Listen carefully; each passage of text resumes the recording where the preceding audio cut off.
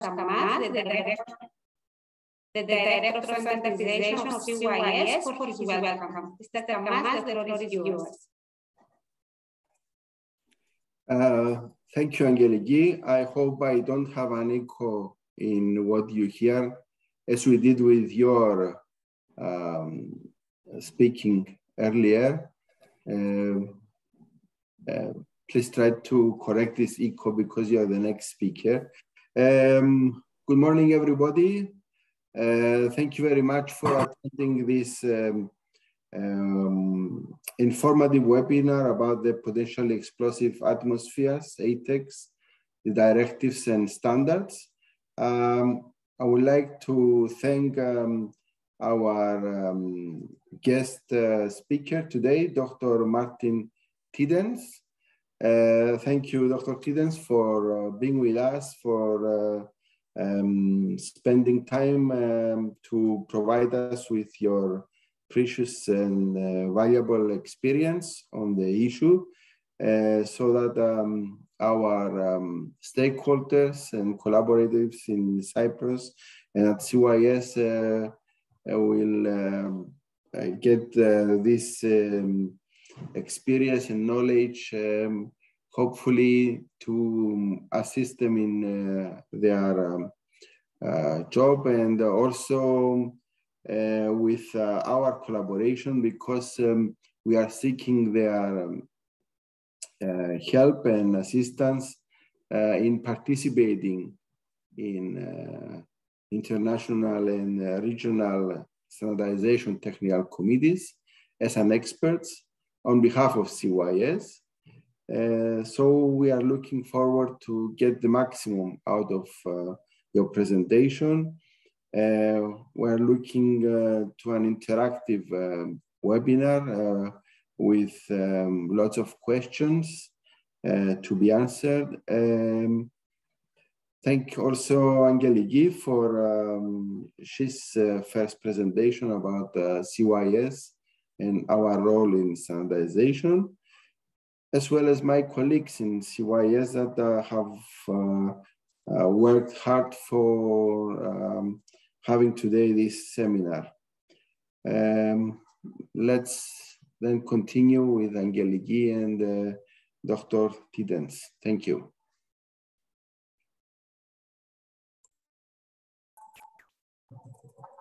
I'm just, just gonna see, do you, uh, do you hear me twice? Is, Is there, there an echo now? Yes, there is. Let, let me try to fix the problem because, because it's, I think it's very, very difficult for, for you.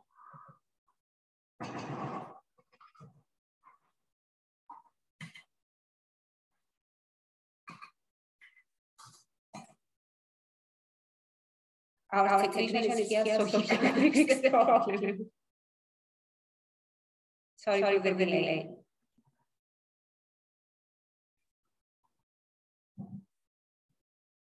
Do you, Do you still, still hear me in echo?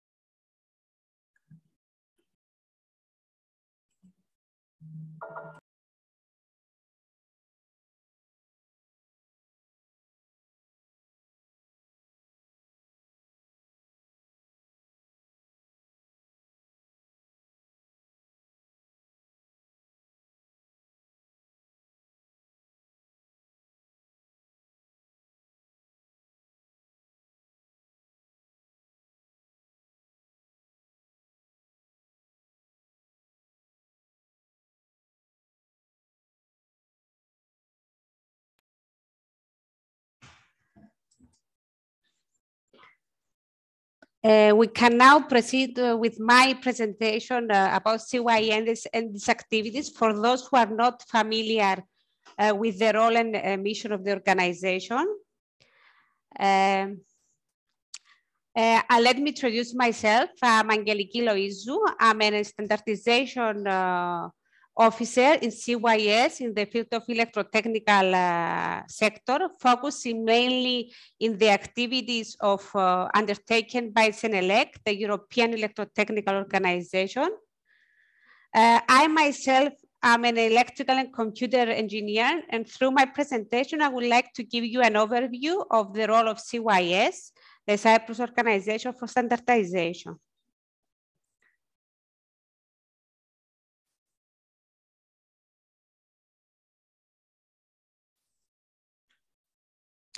In the first section of uh, my presentation, I will pre, uh, pre, uh, briefly present CYS. In the second one, I will let you know how each interested party and each uh, uh, expert can participate in standardization activities.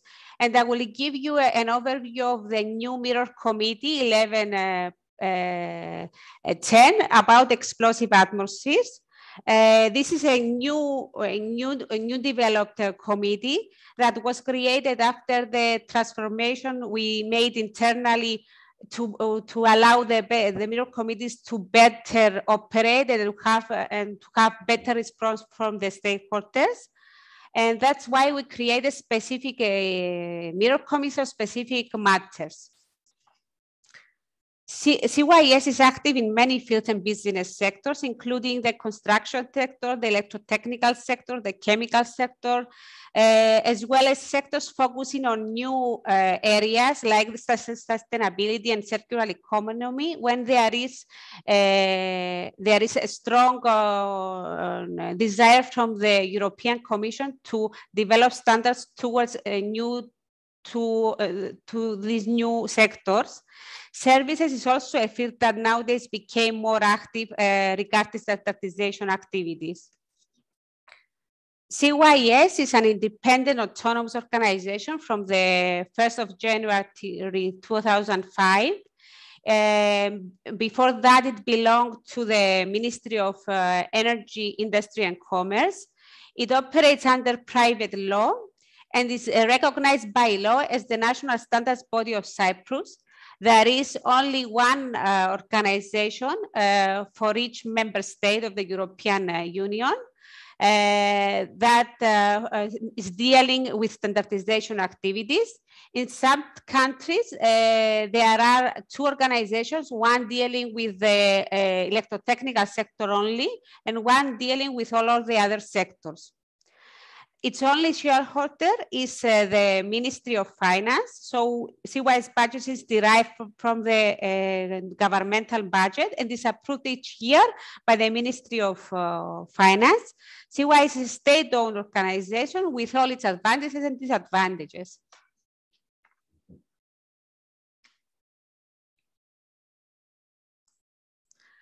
Uh, as I said before, there was a change of status, a metamorphosis in 2005. Um, before that, uh, the, the organization belonged to the, uh, it was a public body under full governmental uh, control.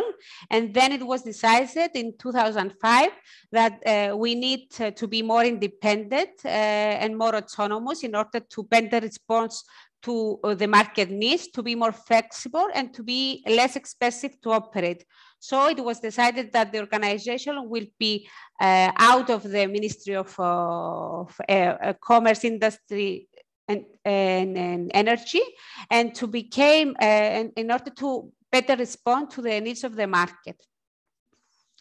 This is our organizational chart of CYS. You can see that the main uh, department is the standardization unit when uh, uh, we have, uh, we are monitoring and following the work in the different sectors, the electrotechnical sector, the mechanical sector, the chemical sector, the civil engineering sector, the information technology sector. We have also supporting activities that are dealing with the organization of the tra training and informative seminars seminars, of the lectures. And, and we have also our Center of Information and Sales where uh, everybody can uh, buy standards or they can come to our library and uh, read the standards. Uh, CYS uh, has also a subsidiary company, which is, which is the Cyprus Certification Company, which is offering certification in management systems uh, mainly, but also to specific products. Uh, we are governed by a seven-member board of directors. Uh, the chairman of our directors is uh, uh from the Cyprus Chamber of Commerce of Industry. We have uh, one representative from the Cyprus Consumer Association, one from the Cyprus Technical and Scientific Chamber, one from the Cyprus Employers and Industries Federation, one from the academia and more specifically from the uh, Cyprus University of Technology, one from the Ministry of Finance and one for the Ministry of Energy, Industry and Commerce. Uh, the board of directors is um, is uh, appointed so that all the stakeholders as identified in the European regulation are represented. CYS at European level, he became a full member of CEN, which is the European Organization for Standardization that deals with all sectors except CENELEC, except the electrotechnical sector, which uh, the work is done by CENELEC. We are also a full member of ETSI, the um, uh, European Telecommunication Standard Institute.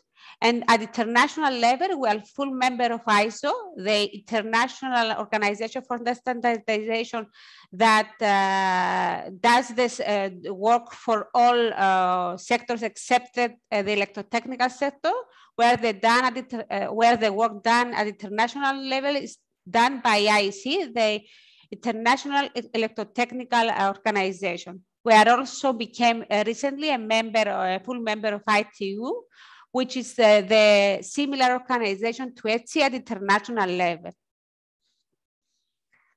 The main activities of CYS, uh, the main activity of CYS is the promotion of the other European and international standards within the industry and organization in Cyprus. Uh, this is done through training and informative seminars like this one, lectures when there is specific need from an organization or an association regarding uh, a specific standard or a bundle of standards that they need to be informed. We also have uh, uh the obligation to publish articles regarding new standardization work or new activities we also uh, uh, do visits to companies and associations and uh, industries when we are called to do so be, because we are um, we are a non-profit organization and our, our main task is to promote the implementation of standards in in Cyprus, European and international ones. Also, uh, experts nominated by CYS can, uh, can participate in the European and international technical committees uh, where they contribute to the actual content of the standard, share their knowledge uh, with other expert, experts active in the field, attend the meetings and be able to promote the national standards of Cyprus.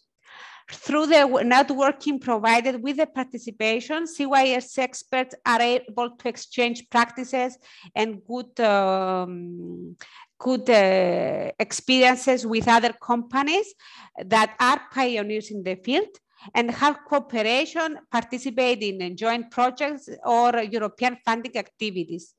Also, CYS is represented at European international standardization organizations at technical level and at administra administrative level.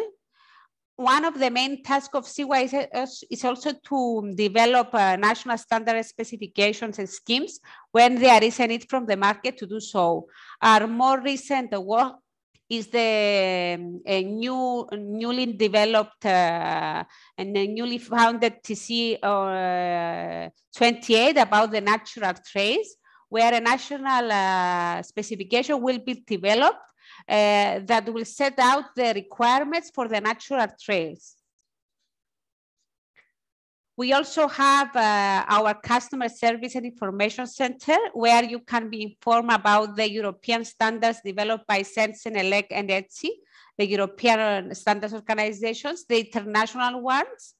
And also we have the ability to, to sell uh, standards from other countries, from other European countries, since we have specific agreements with them either the Greek uh, National uh, Standards Organization or the German one or the British uh, one. we also operate subscription subscription schemes for public authorities and private organizations.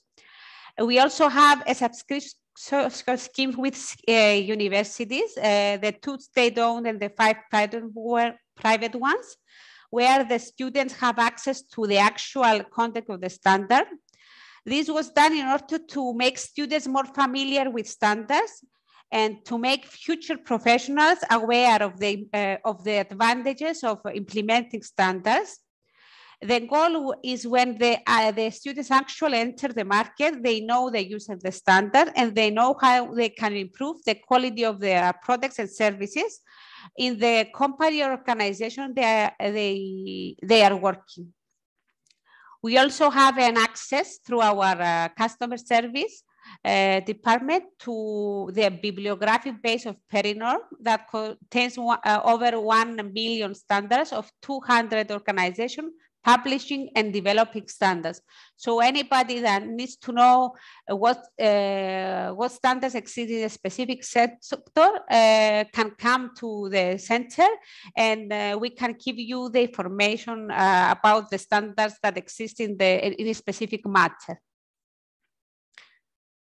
Uh, the way you can participate in standardization activity uh, is um, by being a member of uh, different types of, uh, of, um, of uh, standardization bodies. But first of all, because I don't know if anybody is familiar with what a standard is, I would like to say that um, the implementation of standards is everywhere although it is not always visible. I mean, you can see a standard being implemented in the size of a credit card or the paper of uh, the size of A4 paper or the plug use or in many other products. But um, uh, we are, you are not aware that the, the implementation of standard is, uh, is, is implemented in this way. A standard, as is stated in the European regulation, is a, a, technical specification adopted by a recognized standardization body like CYS, like CEN, CENELEC, ETSI, for repeated and continuous application, where compliance is not compulsory unless it is uh, stated in the law of the country. And it can be an international standard, a European standard, a, a harmonized standard, uh, that means that uh, it's a European standard uh, that is adopted on the basis of a request by the European Commission for the application of the Union harmonization legislation. Each European Commission issues a standardization request where they ask the European organizations, um, bodies to develop and deliver standards to satisfy the needs and requirements of the European market and the goals of, and the ambitions of the European uh, Union. And we have also national standards. Uh, that means that the standard is developed and adopted by the national standardization body, like the standard we have, uh, the like the standard that will uh, be developed by the Natural Trails Technical Committee will be uh, adopted by CYS. So he have uh, in front of it the prefix uh, CYS. That means it is adopted by CYS. Now, the, uh, the way a standard is developed is that uh, a new work item can be proposed by any member of CEN and CENELEC at the European level, and it can be supported by any other member. The respected TC, which is responsible for the standardization work uh, under the specific item, will evaluate the proposal and identify the experts uh, available and willing to work on the standard. After the national standards bodies are invited to nominate their experts to draft the new standard. Uh, after the new standard is, is drafted, uh, then uh, the standards enter the public inquiry stage where all members are requested to vote and comment.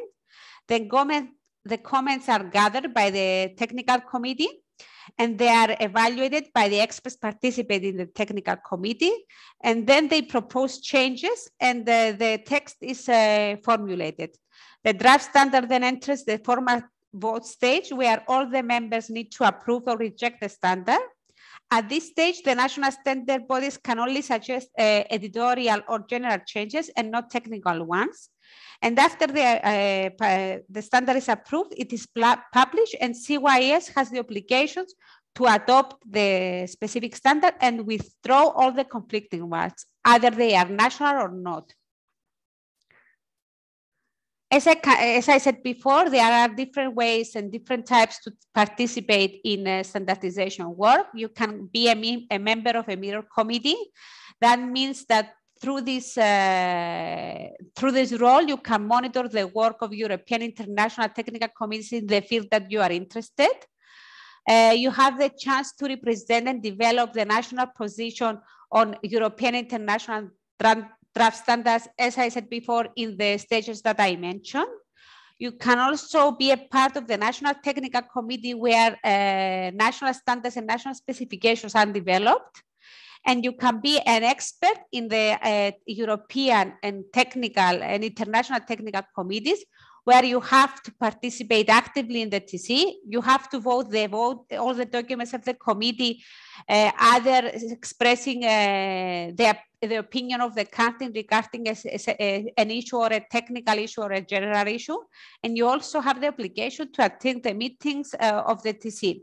Now there are a lot of meetings of the TC that are done uh, uh, virtually, uh, and uh, that uh, before COVID they were only done physically. So the the way uh, we, there is a, a lot of ways to participate in standardization activities. If you are willing to share your knowledge and exchange experiences with other experts in the field at the European level. The basic principles when participating in standardization uh, in standardization is uh, in standardization works is that the activity is voluntary and not mandatory. So uh, uh nobody is obliged to uh, to participate in standardization activities unless they want to. In order to, to project to to proceed and the, the, the, standards to be approved, the, there needs to be a consensus within the members of the technical committee. All the members participating in the technical committees have to approve in, in certain things in order for the draft standard or the specifications to go through the, um, the uh, public inquiry stage and the formal vote. All the work that has been done is uh, transparent accessible. There is also integrity and efficiency within the technical committees, and there, uh, there is coherence at European and international levels since um, the international uh, organizations and the European ones have agreements between them in order to align their activities and, and, and to avoid double work. In the in uh, the electrotechnical electrotechnical sector, uh, we have several mirror committees that uh, are uh, developed, and uh, we are started the procedure of collecting and informing the public about the existence of these mirror committees. We have committees on batteries, on general electro electrical technology, electrical components, electrical installations, in electric machines, devices, equipment, instruments, and apparatus, in power systems, in light and lamps, because the electrotechnical sector is a very uh, broad uh, sector. I mean, it's from plugs to railway stations. It is, uh, we made an effort to gather technical committees uh, under specific uh, fields in order to be able to attract experts more easily to the work being done for, uh, under the European International Technical Committees. We also have uh, mirror committees in other sectors, in uh, the environmental sector, in the energy sector, in the uh, smart sector, in the safety sector, where the explosive atmospheres um, mirror committee is lying. We have uh, also uh, committees in security and, uh, and safety in the electrotechnical sector specifically for the mirror committee in uh, the explosive atmospheres, we, we have uh, uh, constructed the mirror committee 1110, which is uh, for the explosive atmospheres, where uh, the mirror committee is responsible for uh, monitoring the work of several technical committees as they are set here. the main committees, there's an electricity 31, electrical apparatus for potential explosive atmospheres, where our, our experts, Dr. Thedens, uh, comes from. He's uh, the chairman of the IEC TC 31, which uh, is uh, developing standards at international level. ICTC 31 is um, mirroring the work done at IEC TC 31 and also develops other projects if there is a, a specific European uh, need to do so. More specifically, this committee uh, is uh, its scope is to prepare and maintain European standards relating to equipment for use when there is a hazard due to the possible presence of explosive atmospheres of gases, vapors, mist, or combustible dust. In, just to give you a, a, brief overview of what standards are available uh, in this committee, you can see that these uh, standards related to equipment and the production equipment uh, to, to relevant uh, sources. These are the uh, some of the standards that the committee develops. There are over 100 standards in this field of explosive atmospheres at the European level. There is also a CEN TC uh, in, uh, 305 uh, potentially explosive atmospheres explosion prevention and prote uh, protection that uh, deals with the developing of standards in the field of test methods uh, for determining the flammability characteristics of substances and also the equipment and pro uh, protective systems for use in po potentially explosive atmospheres and equipment and systems for explosion prevention and protection. Some of the standards that this committee is dealing with is uh, uh, it, there is a standard for the basic concept methodology uh, to address uh, what is explosion pre prevention and protection. There are also standards for the systems, the explosion suppression systems, for the explosion resistance equipment, and also for the dust explosion venting protective system. There are a lot of standards in this committee uh, regarding different types of systems. Now, in uh, the IEC level, in the international uh, uh, level, there is um, a system, the IEC system for certification to standards relating to equipment for use in explosive atmospheres. It uses quality assessment uh, specifications that are uh, based on the international uh, standards prepared by IEC TC 31 the objective of the system is to facilitate international trading equipment and services for use in explosive atmospheres while maintaining the uh, required level of safety. This was done in order to reduce the cost, which is quite high for the manufacturers, to reduce the time that needs uh, uh, the, uh, the product, uh, the equipment to enter the market, to um, enhance the international confidence assessment process for products, equipment, personnel, and facilities. Also to have one database where all the certified equipment, components, personnel fa and facilities are stated. And uh, to, to maintain international confidence in equipment, uh, personnel services covered by IECEx uh, certification scheme. In this field, there are different schemes. Uh, there is a scheme uh, referring to the, uh, to the equipment that provides the means for manufacturers, regulators, and users of equipment used in hazardous areas to address the risk of fires or explosions from flammable gases or dust. Testing and certification facilitates the sale of safer products internationally at a lower cost. There is also a scheme that covers the service facility scheme and uh, through this scheme, uh, all the technical equipment, the competence of the staff, and the quality management system of the service provider is uh, inspected and covered. The scheme is uh, developed in such a way in order to help the industry to select the right type, uh, partners and is an excellent tool for service providers to present their competency. There is also a scheme uh, referring to the um, personnel competencies uh, of uh, people uh, working in the explosive atmospheres environment. Since uh, the safety of commercial facilities with hazardous locations depends strongly on the competence of all people dealing with the safety management, the planning, the installation, the operation, the inspection, the maintenance, the repair, and many other activities. Uh, so this schemes uh, is offered in order to uh, to provide confidence for the um, for the technical knowledge of the personnel working in these environments. There are, are other two schemes operating in uh, within IEC.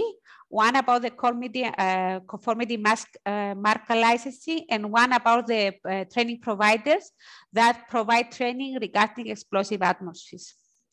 But more about the subject will be covered by Dr. Thedens, which is uh, which knows the uh, the, uh, the matter uh, uh, very good, and he's an expert in the field.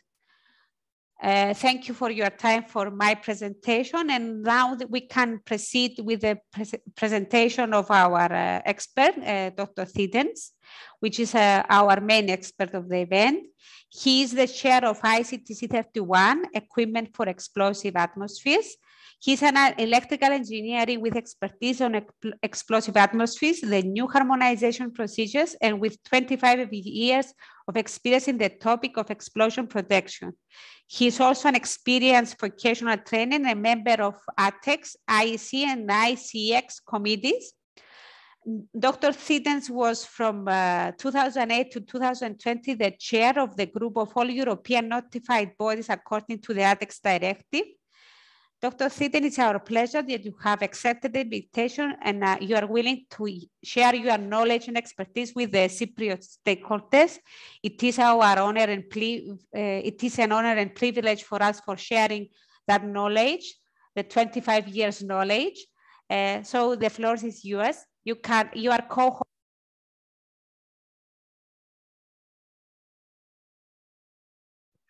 Okay, yeah, just welcome also from my side. A pleasure to, to be with you here. Uh, thanks, Mr. Kamas and uh, Mrs. Luizu for the introduction. I'm trying to share my screen now. Oh, you have to release me? No, now it's possible. Oh, which one? Maybe this one. And Okay, hope you can see my screen now. Um, oh, where's my, okay, I will stop my video because to save bandwidth. Okay, so uh, once again, thanks uh, for, for the invitation. Pleasure uh, to be with you here for today. Um, yeah, uh, the content, as uh, uh, explained, is well a little bit of everything. Um, for, for, sure, the, this short webinar can give only an overview of the different topics. We will highlight a little bit the basic of explosion protections. Uh, I will go a little bit to the legal point of view, to the directives, and for sure, uh, some words about standards and standardization. Uh, I've you've seen I've used a little bit the color code in here. You don't need to recognize which color belongs to what, uh, because you see it on the slides later on. Uh, uh, what I want to show is that everything is in in in, in combination with uh, each other. So every topic is not a standalone topic. You, you can see it also uh, looking to that uh, in, in the center, I say we've placed the product, but of course we need to have the technical background, what we are doing, where we are doing uh, in the explosion area. We do have constructional requirements. We do need to talk about certification, which is needed for the market access. Uh, we've got user requirements. So we've got the users, we've got the manufacturers, we've got test houses, we've got different stakeholders involved in our product. Uh, and uh, you, you, see it with the color code there. So the, the, the, basic principles are involved nearly everywhere, standards are involved, and for sure the legal aspects. So uh, let, let, me ask the, uh, for the first question, why, why, why, do we need to have explosion protection? Um, for sure, this is a picture of Hollywood, um, but it's symbolized that we always need an, an a fuel. Uh, we need oxygen and we need an ignition source. And all, if all three come together, we've got a perfect uh, explosion. Well, as I mentioned, uh, uh, this is Hollywood um, this is the reality. This is uh, 1921, the, the, the big hole in Ludwigshafen Oppau in Germany, uh, where 4,000 tons of ammonia sulfate nitrous uh, were exploded with 560 dead persons. So explosion protection is not only a matter of question of the history. Well, this is the same substance. In 2020, you all know that big explosion in uh, Beirut. Also a big hole uh, with a lot of uh, thousands of um, destroyed areas um, in Beirut. So we do need to work on the field of explosion protection. We do need to define what we are talking about. We are talking about an explosive atmosphere, potentially explosive atmosphere. And now you see the color code, of, for example, over there. For sure, that's basic principle knowledge. It's part of the legal requirements and it's described also in standards. So when we are talking of an explosive atmosphere, we are thinking of a flammable substance, could be a gas, vapor, mist, or dust, in a mixture with air under so-called atmospheric conditions. And after an ignition, the combustion spreads to the entire mixture. And you see atmospheric conditions is also a defined term defined by standards. Normally it's said, well, it's a temperature range from minus 20 to plus 40 and the pressure range of uh, 0.8 bar to 1.1 bar. Uh, the wide range of humidity and the normal uh, oxygen content what we have in air. Um, this is just the definition of atmospheric conditions. And we have to consider the, for sure, different hazardous areas where such an explosive atmosphere could occur. Uh, you, you, I think you are coming also from the industry part. Uh, we have uh, the mining, we have uh, the, the, the non-mining, the chemicals industry. Um, we've got um, offshore, onshore, we've got silos, we've got the industry in painting and whatever. So different hazardous areas requiring um, specific explosion protected areas. And what we do is with the area classification, for example, uh, considering the fundamental elements of EX, so which type of gas you have, which type of substance, you need to know the, the characteristics. Um, it's a combination also that you uh, determine the uh, likelihood of the occurrence and the extent of the areas which are affected. Um, for example, for this, we have standards uh, with our um, 10-1 and 10-2. Uh, it's one is for gases, two is for dust. We are explaining how an area classification could be done. What we have with this area classification, we define our so-called zones. We've got for the gas in zone zero, zone one, and zone two, and the similar uh, definitions for the zones for dust, which is 20, 21, and 22. Uh, and the most uh, important point is that for zone zero, we think we have all the time uh, an explosive atmosphere present. In zone one, it's uh, occasionally. Uh, and for zone two, not likely to have an uh, explosive atmosphere. And if it's still there, it's just a short period. What you will find in the standards is a description for sure of that area classification, but no numbers are given. You cannot say, well, for five minutes in one year, this is for sure a short period, this is zone two. Normally, I would say, yes, it is. But if you have, during this five minutes, definitely ignition sources present, you cannot declare that to zone two, for example. So it's dangerous to give numbers in there. You have to have an individual um, assessment of, of your site, for example. So you need the full knowledge of the explosion characteristics, uh, knowledge of how the mixture is, is spread through the entire um, plant to make your uh, area classification. Just as an example. Um, you have to have knowledge on the basic principles of explosion protection. Um, normally it's given in this three level system. At the first, to avoid the formation of an explosive atmosphere, maybe by using an inert gas. The second level would be to avoid the ignition of an explosive atmosphere. This is where our products are linked with. And the third level, of course, is, well, if the uh, explosive atmosphere is still there, I cannot avoid fully the ignition of that atmosphere. Well, I need to reduce the impact of that explosion to an acceptable level. For example, with flame arresters or venting devices. Right now, I want to come to the point I want to focus on the products and the different type of um, uh, protections later on. So thinking of the term of product, for example, this is now a term which isn't used in standards.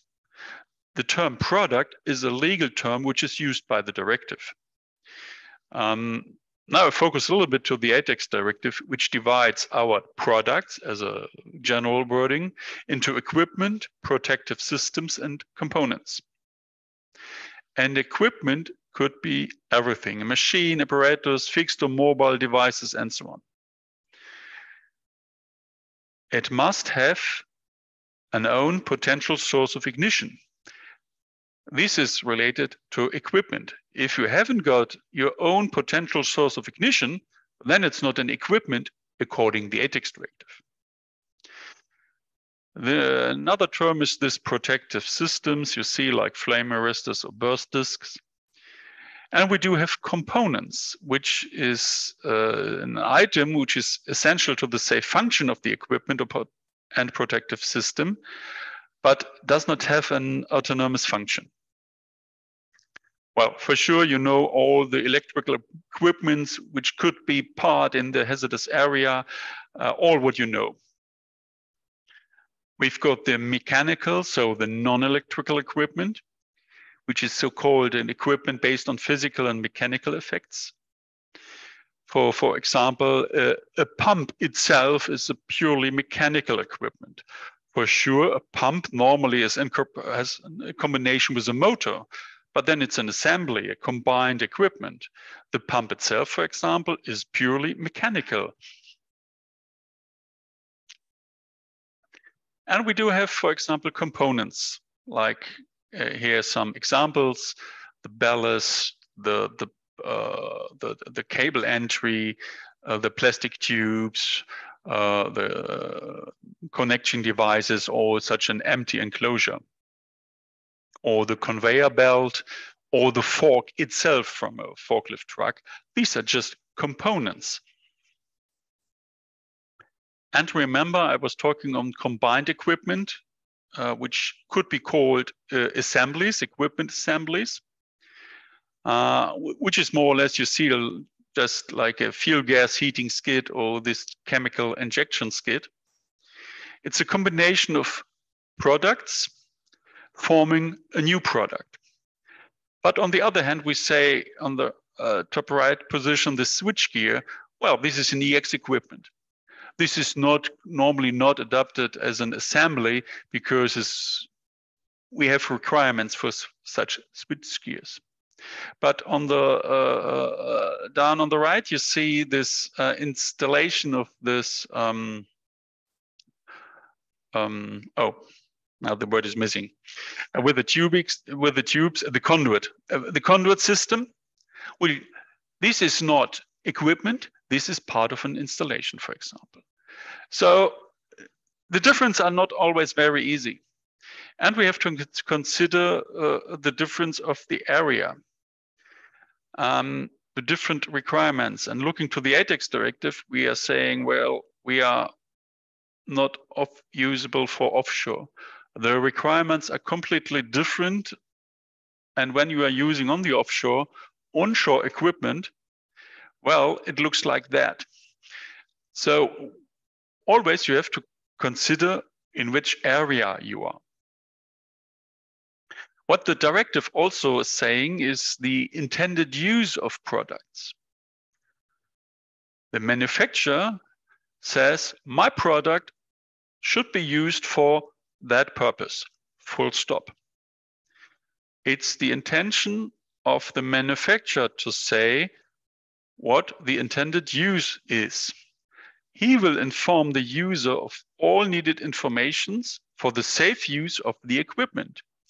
And for sure, this is done by the manual.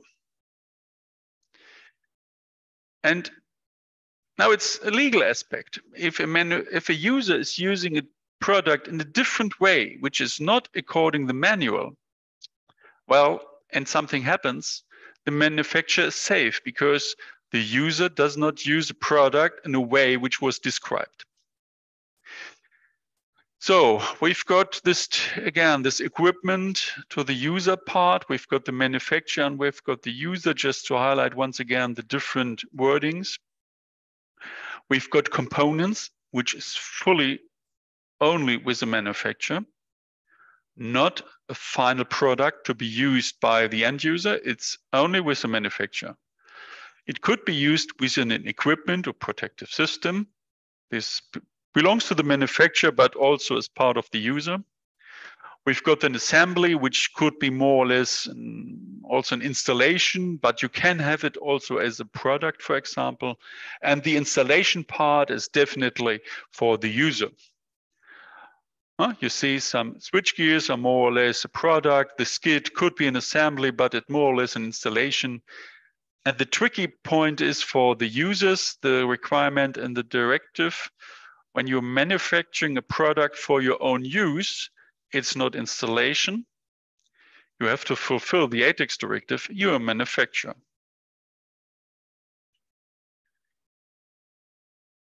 Looking a little bit more into the second explosion protection principle, which was the avoidance of the ignition source or the ignition itself. Normally, it could be done by uh, the application of the type of protection for mechanical and electrical equipment. And the basic principles is the separation of the atmosphere and the ignition source, or the limitation of the energy, use of creepage and clearance distance, and choose of suitable materials. So we have constructural solutions for the design of the equipment, which could be used then in the hazardous, hazardous areas. And this is what we call with our type of protections. We've got several type of protections for electrical and non-electrical equipment and separation of gas and dust. Just an overview in here for the different types of protections. More or less, I think you all know most of these type of protections. Some of these type of protections are for electrical equipment only. Some are, could be used for non-electrical equipment only, and some are for electrical equipment in dust only. For example, flameproof enclosure, even if the standard is purely written for the electrical equipment, it could be used for non-electrical equipment as well. Uh, it's here a mixture a little bit of the old European marking or type of protections we still had in the past for mechanical equipment, for example. We've got the constructional safety or the protection by control of ignition sources, this old C, B marking, the, the liquid immersion with K marking, which were original European standards. We convert that all now to an international standard and the symbol is just H, but I will come to that later on a little bit as well. So we've got technical requirements which are given in our standards. We've got the general requirement standard part zero, which isn't a standalone standard. You have to use always a type of protection standard or a specific standard for a specific product in conjunction with part zero for electrical equipment. So for an intrinsic safety equipment, you always have to have part zero and part 11, for example. This is the difference to mechanical equipment. The basic standard for mechanical equipment is the part 36. This is a standalone uh, stand, uh, uh, uh, document. The um, ignition hazard assessment method is described in there, and you can make a product only using part 36.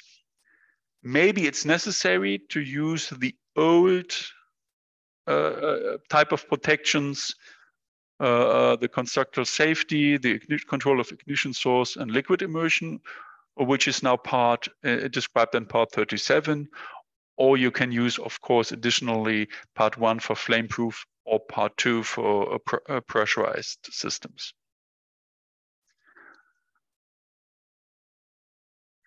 to that I will come later. So we've got now an equipment and for sure you want to come to the market. We have to have fulfilled conformity assessment parts and always we have in mind are market surveillance parts. But with different schemes, it's described in a different way. Um, the market is the whole world and we have uh, in specific areas uh, specific uh, acceptance schemes for the us for example ul is accepted or csa in canada brazil is Inmetro in, in Russia, it was GOST-R, or in China, for example, XNEPSI. Now it's replaced by CCC. And in Europe, it's uh, the ATEX directive. But all is based on our IEC TC31 standards. I will come to that later as well. And as uh, Angelica uh, explains, we've got the IECEx system for a worldwide certification scheme.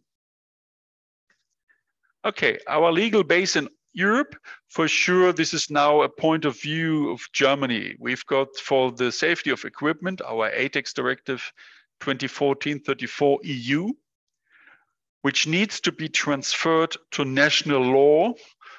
So uh, also in Cyprus, we have transferred the directive into national law. Uh, we have done this in, in Germany with the product safety law. So the conformity assessment for the products is given in there. And for the safety of plants and workplace, we've got the other uh, directive in the ATEX field, which is the 1999-92 EC. And also this directive needs to be transferred to national law. For example, in Germany, it's done by the worker protection law. Just to show when we are talking on the ATEX system and the involvement, uh, uh, uh, the implementation of the ATEX directives, all stakeholders are involved for sure the the uh, the directive itself it's coming from the European Commission but the standardization is involved with uh, CEN CENELEC and our uh, uh, HAS consultants. Uh, the ATEX manufacturers uh, are involved. The users are involved.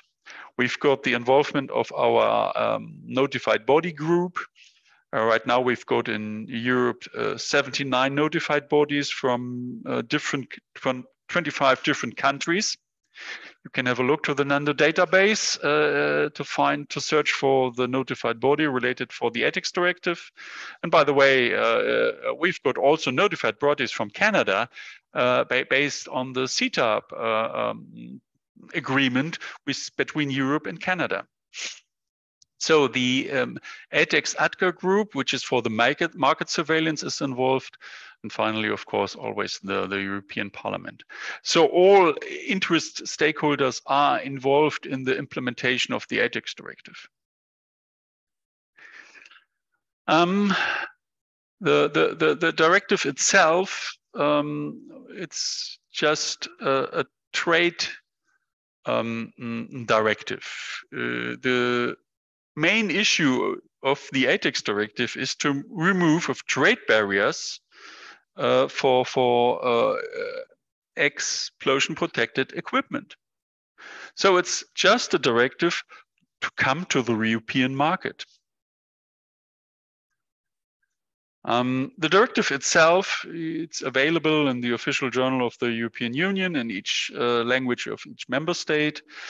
Uh, it's like the law, I will say. And uh, looking in Germany, um, lawyers are earning a lot of money of making an interpretation of laws. Uh, uh, the European Commission makes its own interpretation, which which is also available on the European uh, web page uh, for for the ATEX. Uh, recently now in uh, yesterday or the day before yesterday, uh, the fourth edition, uh, an updated edition of the ATEX guidelines uh, uh, were published. And with this, the, the directive text is given and an official interpretation of the ATEX uh, group within this, what I've shown in the chart uh, before. So as I mentioned, the, the aim of the ATEX directive is the free movement of products within the EU based on harmonized requirements and put, uh, procedures to establish compliance. We've got the CE conformity marking and of course the EU declaration of conformity. Um, the ATEX itself, the directive, does not give pure technical requirements. Uh, we've got just a general statement which said, well, um, you have to fulfill the essential health and safety requirements. Um, and, and in general, I want to say this is very short. It's just said, well, your product must be safe for the area where you want to use it. And we have so-called harmonized standards. Uh, when we are using a so-called harmonized standard, well, we've got the presumption of conformity uh, of the uh, essential health and safety requirements. We don't need to use standards. We have to fulfill the ATEX directive. We can do it with another possibility, but mostly it's done by using one of the harmonized standards. And the harmonized standard must be uh, uh, listed in the official journal. And it's, of course, a EN standard. So when we want to come with your product to the European market, you have to fulfill one of the modules. Uh, and it depends a little bit of the type of equipment you want to use. Is it an electrical or non-electrical equipment or protective system? And for which category, so for which zone your product you want to use it. The final issue is you want to sign as a manufacturer the EU Declaration of Conformity.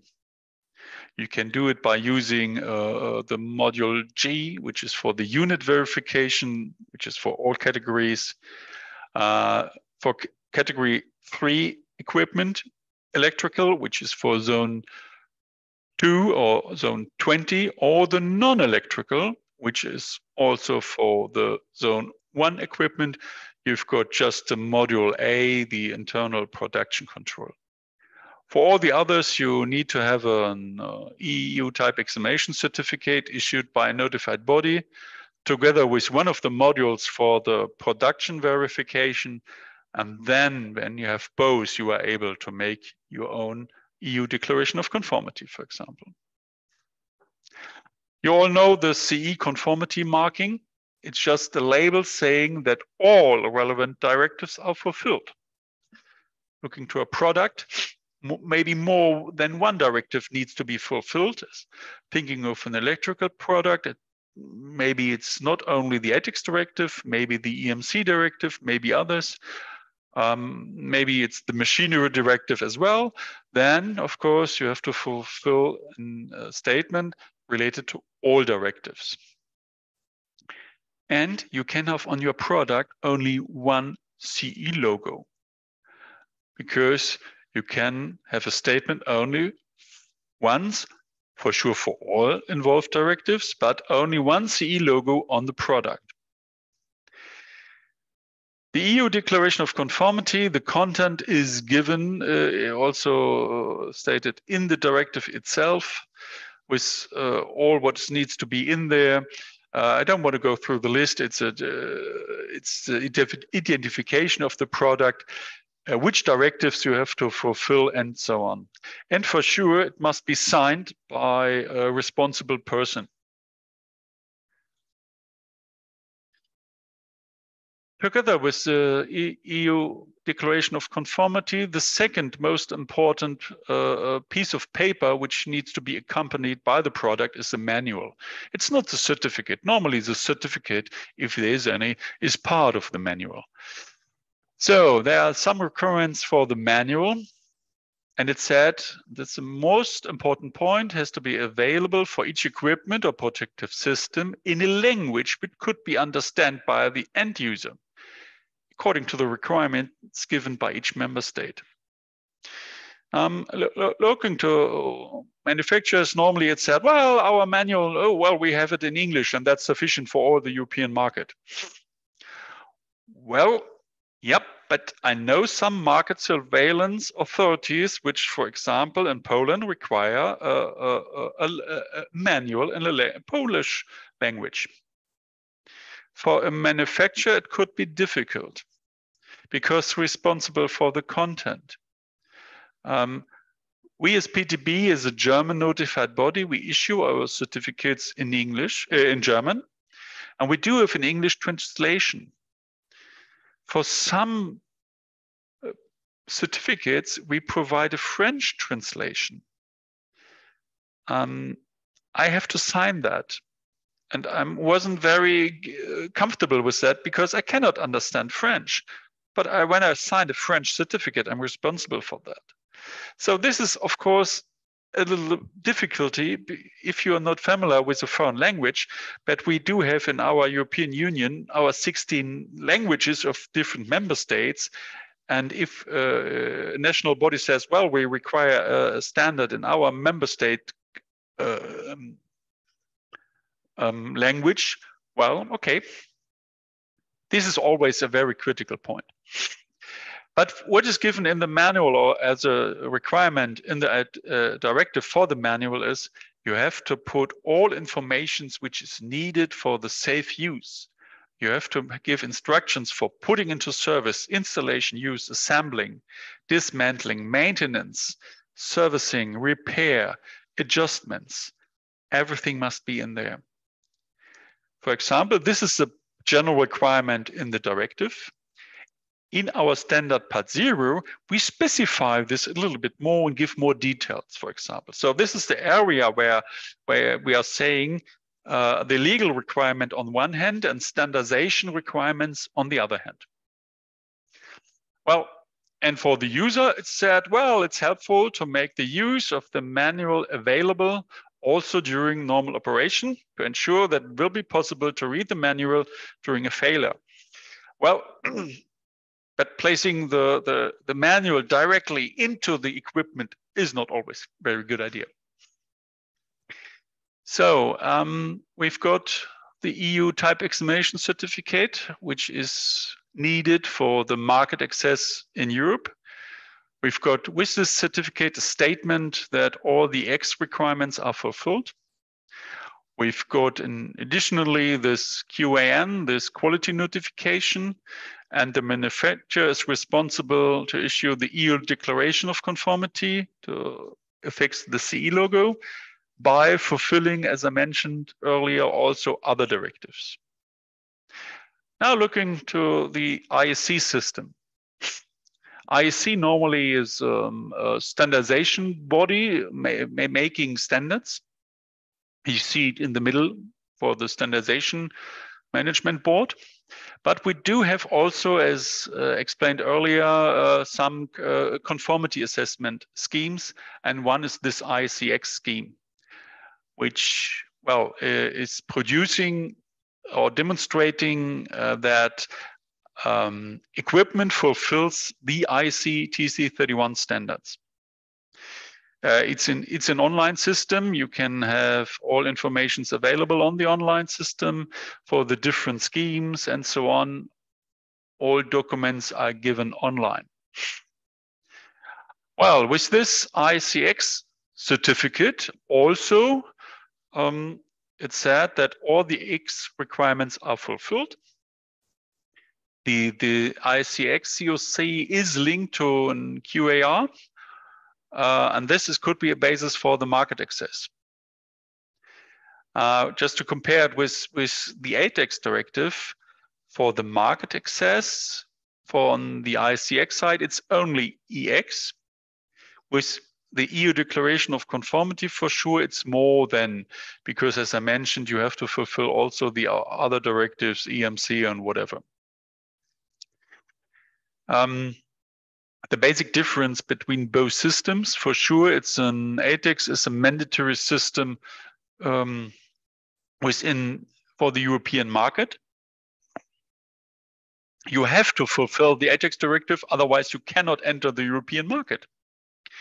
IECEx is not a regulation system. It could be accepted. For example, it's accepted as a market access in Australia or New Zealand. But for example, in Australia, not for mining. ATEX, as I mentioned, uh, does not require conformity with standards. Although we have the harmonized standards, we can uh, show that the uh, uh, uh conformity of or that we have safe products could be done also by other techniques. IECEx is a fully compliance of the used standards. ATEX does not require the accreditation of an ATEX notified body. We are notified by individual, uh, or we are notified by our Ministry of Work uh, and it's just a notification process. The ministry is saying, well, PTB is good. I name PTB as an ATEX notified body. While ESCX, IECEx is a peer assessment scheme applying for the ISO guide 65 and, and 70025 and 65 uh, um, acceptance. For sure, we do have benefits in the ATEX directive. Um,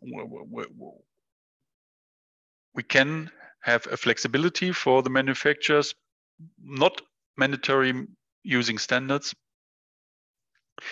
We, uh, the manufacturers has to consider the change of the state of art and of new standard editions. So the ATEX products are always up to date. Uh, placing products to the European market is possible for mechanical equipment of category two and all equipment of category three without the involvement of a notified body. So, and the responsibility of a sold product for the intended use, uh, as described in the manual, has got the manufacturer for the lifetime of the product. We do have a strong market surveillance activities within Europe. Um, our EN standards are normally uh, always technical identical with the IEC and X uh, with the IEC standards. So for a notified body, for example, when we've issued an ATEX certificate, it's very easy to issue also the IECEx certificate or vice versa. Um, and as I mentioned, within the ATEX, the risk assessment is done by the manufacturer for all risks related with the product, not only the explosion hazards. For example, the low voltage directive must be fulfilled uh, as being part of the ATEX directive, but the low voltage directive is not listed in the EU declaration of conformity, but you have to say which standards you have used to fulfill the low voltage directive. This is a little bit tricky, but anyway, for sure, we've got then key problems, um, mainly for companies coming from outside of Europe. There's uh, difficulties with the self-responsibility of the manufacturers. Um, and this some of the manufacturers are not confident enough for the self-certify equipment for category three and so on. And for sure, global harmonization requires uh, or is required by manufacturers and users to have well, at least one standard, one product, and one installation concept. We are doing this with our standards. And one of benefit of IECEx for sure is we've got the proficiency testing scheme. Every two years, two programs are launched by the uh, proficiency testing provider, and all IECEx test laboratories have to participate on that system. That's a good issue. Um, I want to jump to the marking, uh, which is all, always a, a, good point for, for, for talking about markings.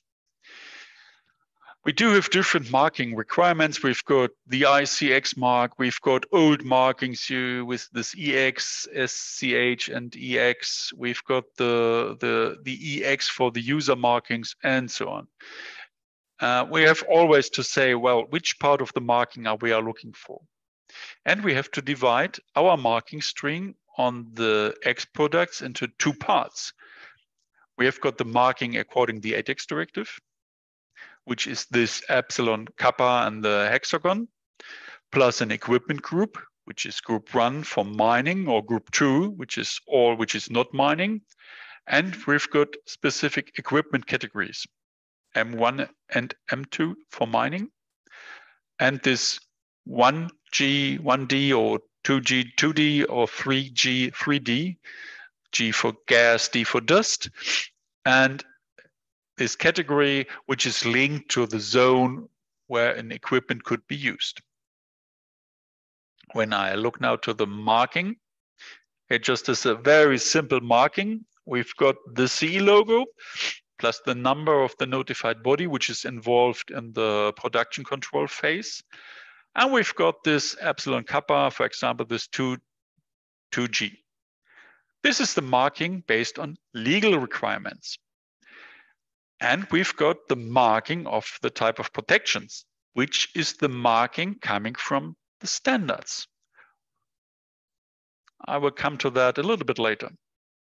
So this is the marking of a product. Now looking to the marking of a component,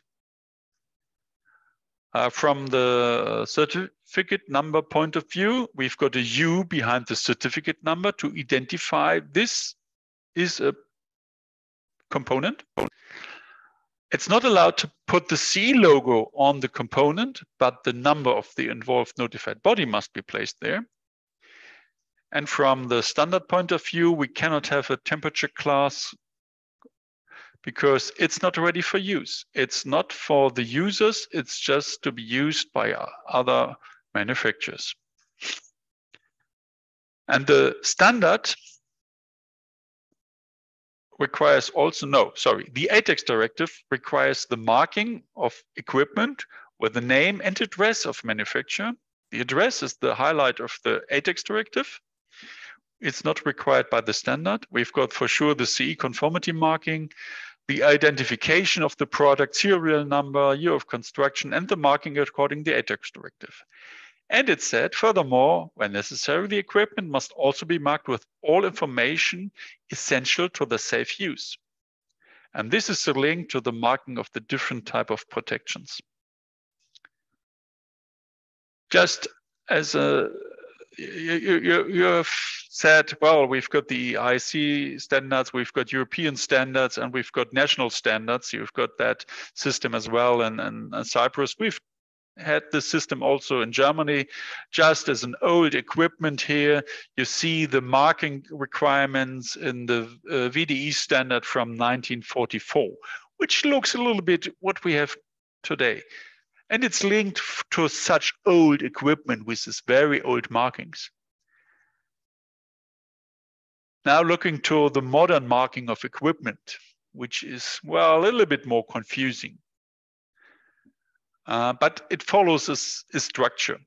When I look now to the marking according the uh, part zero, which is the general requirement document, it said, well, the marking starts with the X symbol, just EX, with the type of protections used, so the DB and EB, with a group, in this case for 2C, the temperature class, T4, as I mentioned, not for components, and finally by the equipment protection level, EPL.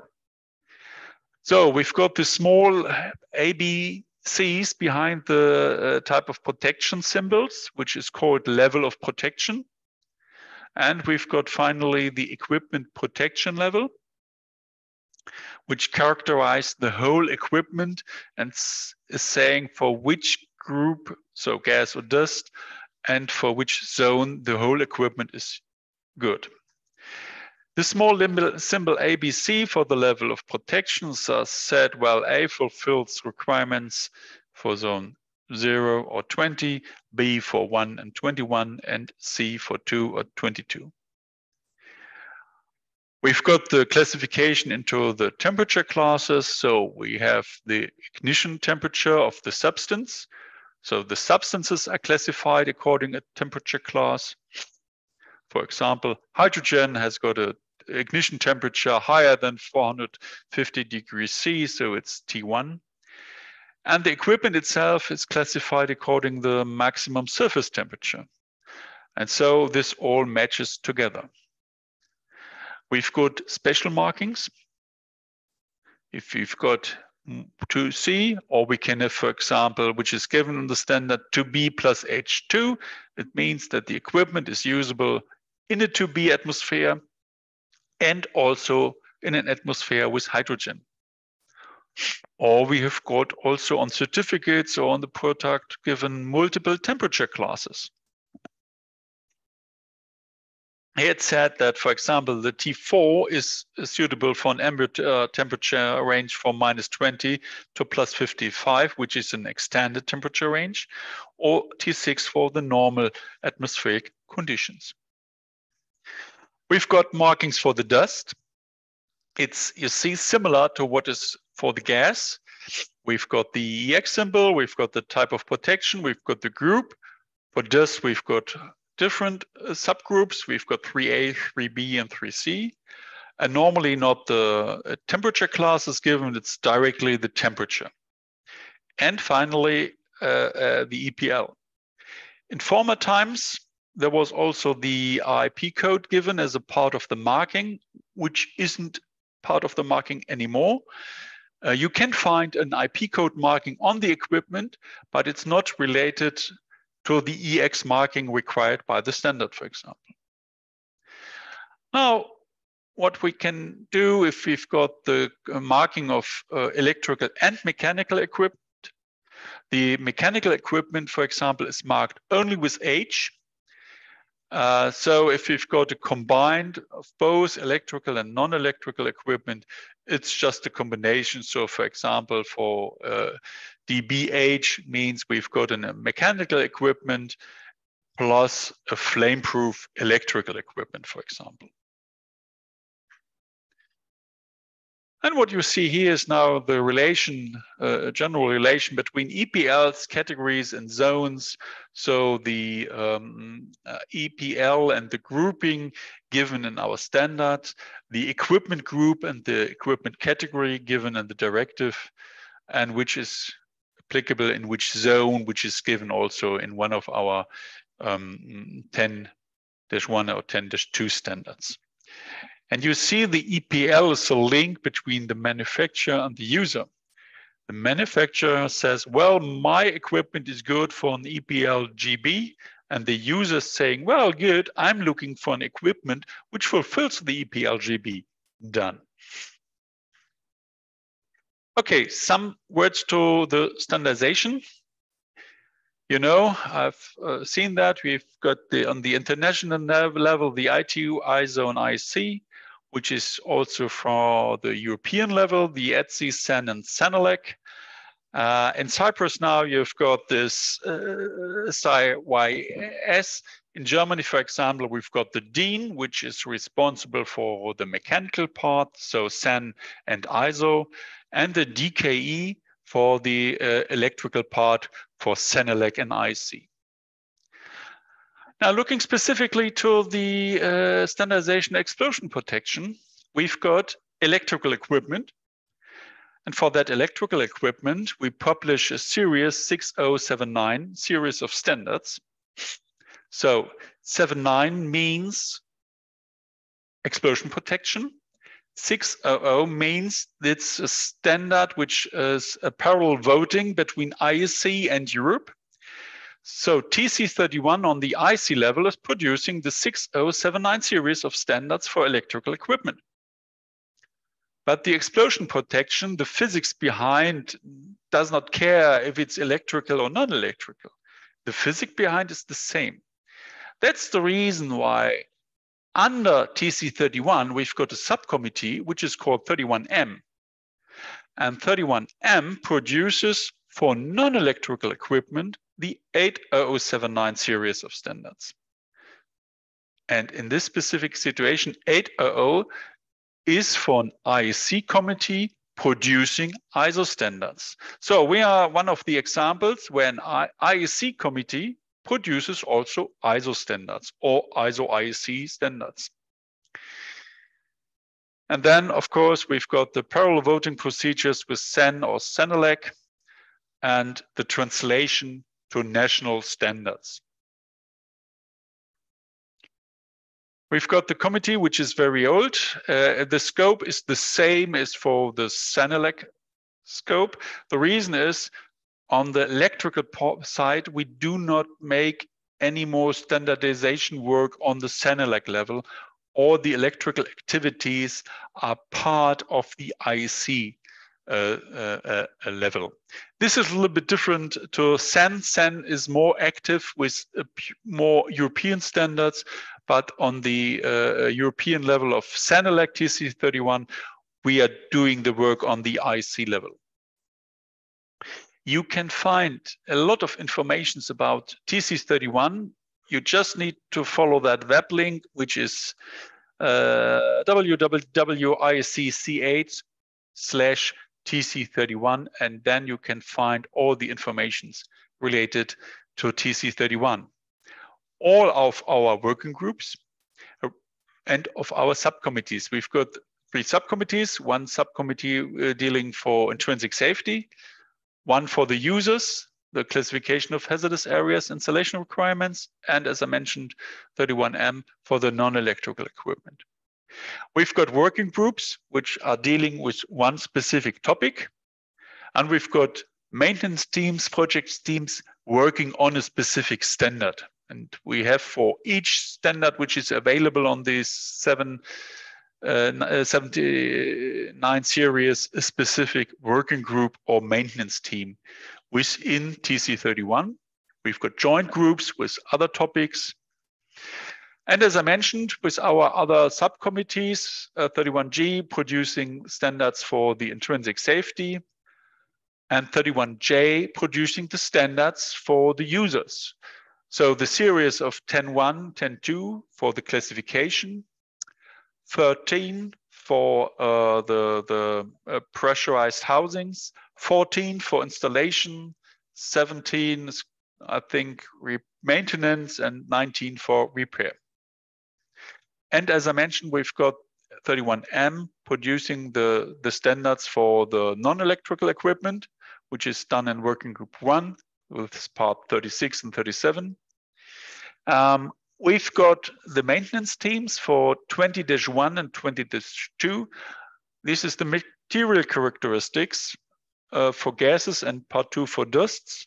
So the MESG value, the minimum ignition uh, uh, current, the the uh, and the, the related to the temperature class definitions, all are given. Uh, the minimum ignition temperature uh, are described in part 10-1. And we've got part 34 within the scope of 31M, which is for the application of the quality systems for electrical and non-electrical equipment. On the publication side, we've got the international standard, which is the document uh, established by consensus and approved by the IEC on a very high level. Uh, we've got the technical specification, which is done a little bit faster as a pre-document. Uh, uh, after three years, normally it's converted, uh, if needed, to a standard. Uh, we've got this time frame for, as described, uh, with this uh, proposal stage and the committee stage and inquiry and approval. the wordings are a little bit different and the, the acronyms uh, to the European way, but uh, anyway, uh, we are following, following the same principles. And just to highlight the st status of our work, right now, nearly at the end is part two, which is the equipment protection by pressurized enclosures. Uh, definitely ready for publication is part 11, which is the equipment protection by intrinsic safety. And also at the end of uh, our work is the new uh, part 49, which is for flame arresters. This is an example where the European standard was transformed up to IEC and we start to make an IEC standard or because it's done by 31M, it's an ISO IEC standard. Uh, projects which are in review now, it's part zero, the general requirement, part one, flameproof, and seven for increased safety. We are working on specific conditions of use as a general topic, and we are working on a so-called basic safety publication, a general document which could be used by all of our IEC and ISO committees. Now we've got 52 minutes. I was running through my slides. Um, I cannot go into detail of each one in one hour. This is what I meant, uh, the content of this webinar. It's a little bit of basics, a little bit of the European directive, a little bit of standards and standardization. And um, to have a more detailed view to all these specific topics, well, we can have a full day of training um, and we can identify those aspects with more details which are, are, are needed for you all. And now I'm happy to, to listen to your questions and uh, to, for sure trying to answer your questions. Thank you. Uh, Dr. Thedens, thank you very much for your contribution and uh, you have a great expertise regarding the matter. Um, I know from my from my experience that it's a very difficult market, the ATEX uh, market and the, uh, the surveillance uh, as well of the ATEX environment. And do we have any questions for Dr. Thedens? If you have any questions, you are free to ask them, uh, either by raising your hand or writing the question in the chat room if you're not uh, if you don't want to speak.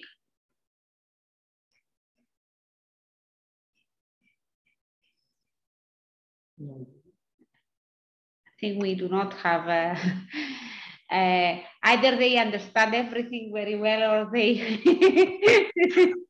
Uh, yeah, the problem I think is it's a very big topic, and uh, it's just an overview of all. Um, for sure, uh, we have discussed whether to have a, a follow-up full-day training. Uh, uh, uh, what we can do, um, that's for sure. I'm happy to come to Cyprus. Um, what I can offer, of course, if there's any questions, we, all of the participants just can send me an email and I try to answer. I cannot comp comprehensively answer everything maybe in the full detail, but I try to answer. That's for sure offer. You can write me an email. There is a question. Uh, Good. Um, Mr. Agim, do you want to say that loud?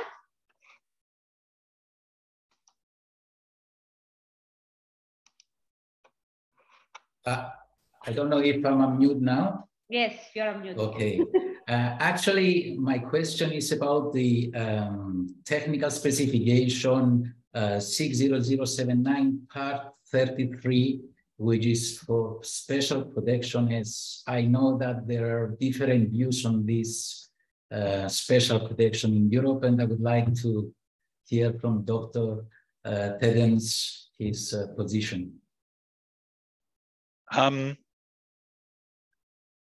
working in the field of standards, um, I've learned also in my, my professional history to to, uh, to to use the correct wording is very important. Um, and this is also uh, uh, done with the specific part 33, uh, which is special protection. We've done this standard in the past. In Europe, we know this special protection as marking and so on.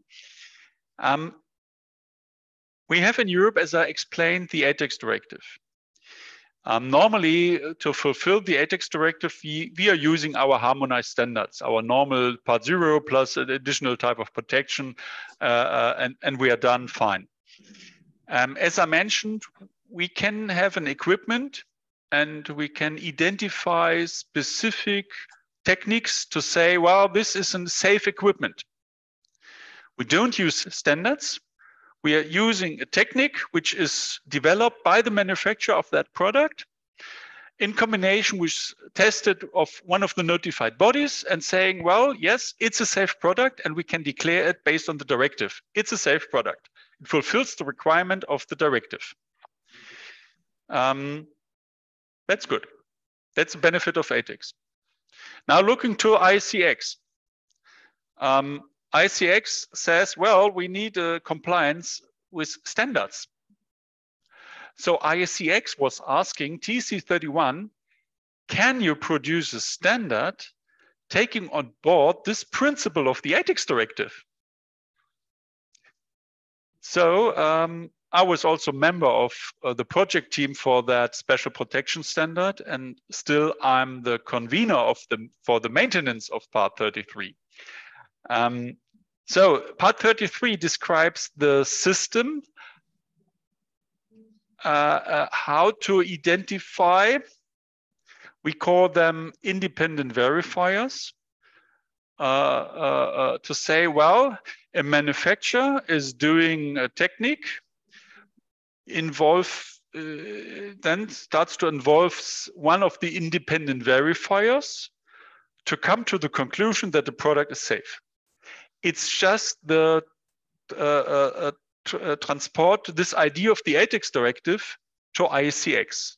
Now IECEx is possible to issue a certificate of conformity based on part 33. The difference between um, ATEX and IECX is so the technical part is the same. We've got a product, uh, we've got specific uh, uh, techniques to make out of that a safe product, and that's done. The difference is the, the way behind. In Europe, we can do it with one notified body for all EPLs. On the IECEx system, uh, um, we create this independent verifier level for EPL C for also so zone two, only one independent verifier is needed. For uh, EPL uh, GB or DB, for example, two. And if you want to have a special protection product for uh, zone zero, you need three independent verifiers. And the independent verifiers should come from different organizations. So it's just 33 is just for the ATEX to fulfill the ATEX directive on the IEC level. So it's Does not that, affected in any way that it's still a technical specification and not published as a full EN uh, standard? Uh, it's a standard. Part 33 is a standard, I think. Uh, yeah. Uh, so not yet. I see 33. It is. Let me have a look. Oh, where's it? Where's it?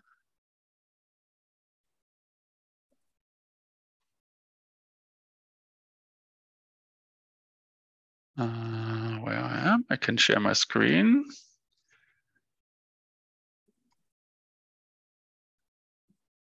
You see, this is the actual version of part 33.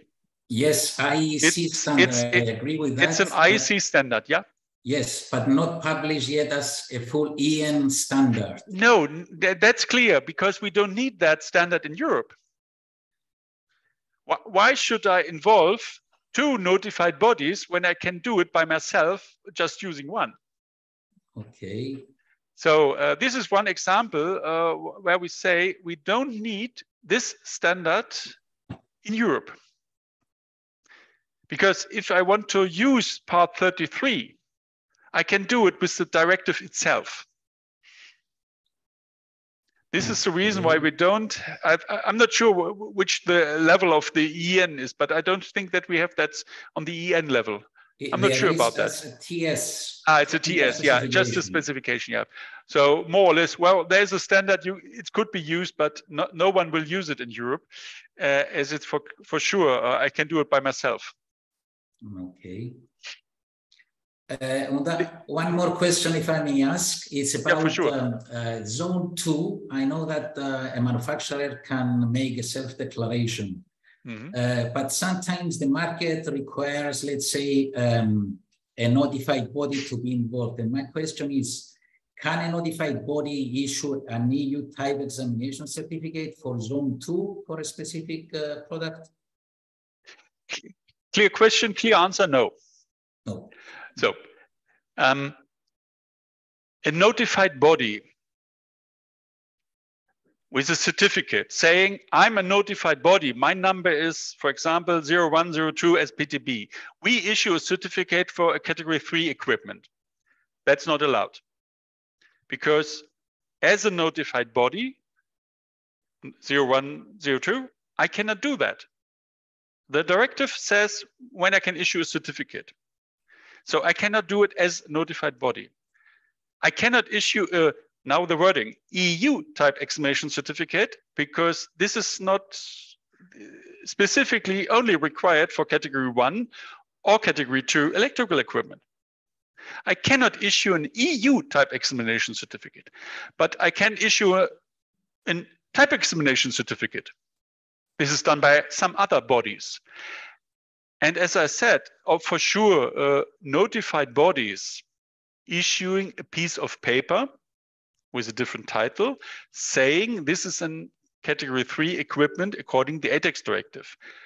But they are doing this not as a notified body and not with an EU type examination certificate. It could be done by my grandmother. Uh, it, it, it could be done by anybody, by any company.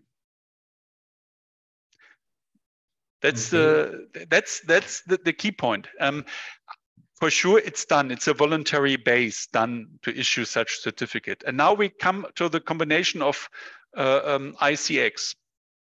If um, uh, more or less, it's in some cases a manufacturer is not sure well, um, EX is not my main business, and I'm not sure, I'm not really confident of what I'm doing. Also for category three equipment, I need a third party to have a look on.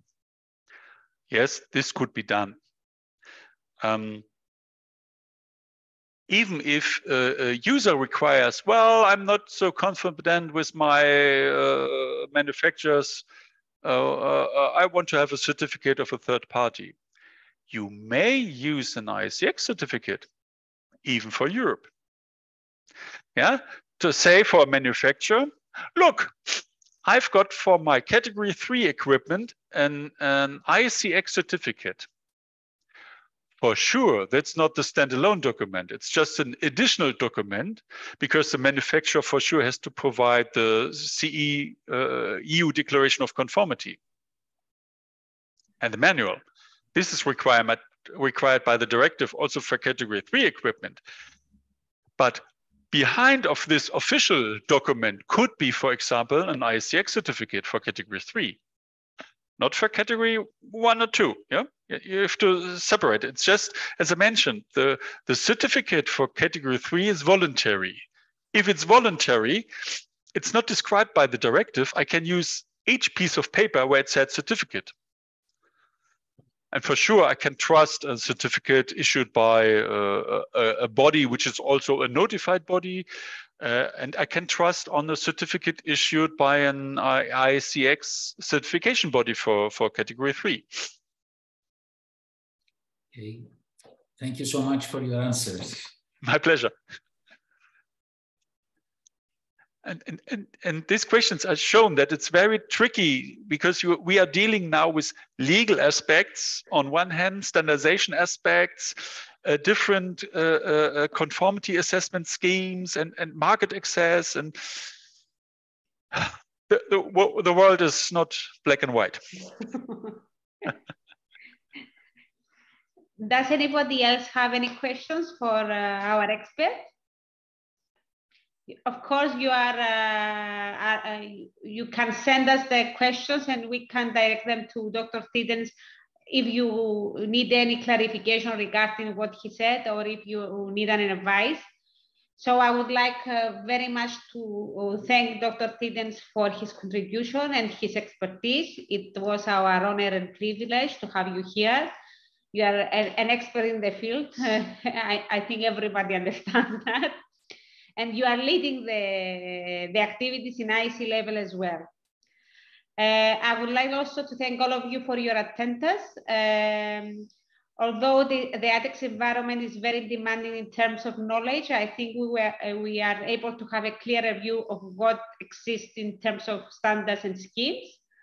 Uh, a brief questionnaire will be sent to you for your feedback please share with us your, uh, your opinions, what subjects you need to be needs to be covered in the ATEX environment. So because we are planning uh, further activities in the, in the ATEX environment and uh, having a training seminar, your feedback regarding what you need to learn is, will be very valuable in preparing for the training seminars. It just uh, will take a couple of minutes. Thank you all for your presence and have a nice day. Special thanks to Dr. Thedens. I have to say thank you. My pleasure to be with you here. Thanks for organizing. Thank you. Bye-bye. Thank you very much. Bye-bye.